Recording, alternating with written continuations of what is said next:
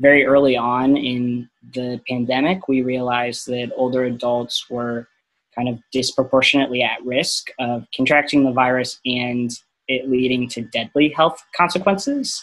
Um, so that's made really important the the health the housing setting of older adults, whether they live in nursing homes or um, apartment buildings. A lot of especially HUD assisted low income apartment buildings that are geared towards low income older adults um, have really struggled in this crisis. They get a lot less attention than nursing homes, but they similarly have high proportions of older adults, most of them on low income, and the buildings are often not well funded. And so they don't have safety procedures, for example, to make sure that there are staff that um, distribute cleaning materials and make sure testing is available, things like that. They don't have, most of them didn't have procedures in place for when one resident, for example, was infected. Um, so, kind of subpopulations like that have been particularly important. Um, but there's also been a, a sort of disproportionate financial impact to the crisis. BPC has done a ton of work, especially in a recent poll, that showed that there has been a disproportionate impact across the board on minority households. Um, responses to our survey showed that Black and Hispanic households in particular experienced higher job losses and pay cuts. Um, they were also more likely to tap into emergency savings and more likely to miss household payments, which include rents and utilities.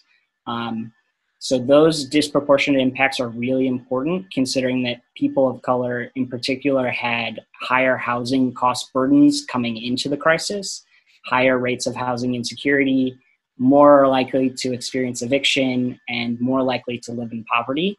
Uh, so when we talk about inequality coming out of the crisis, COVID 19 has actually exacerbated some of the disparities that we saw in housing. Um, and then the final thing I'll say is that uh, because staying at home was and continues to be a focus of prevention efforts, people without stable housing are disproportionately at risk.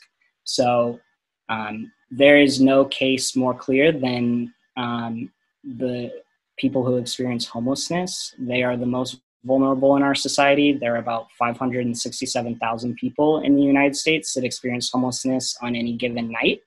Um, and people who are homeless have limited access to some of the preventative measures that have been recommended by the CDC and other public health officials. So, obviously, the big one is staying home, but there are also things we might overlook, like being able to wash your hands frequently, avoiding high touch surfaces. Um, many people who experience homelessness are also actually older than the general population. They tend to have um, they're more likely to have underlying chronic health conditions and likely to receive services in congregate settings. So, for example, um, shelters, soup kitchens, health clinics, places where it's really difficult to socially distance.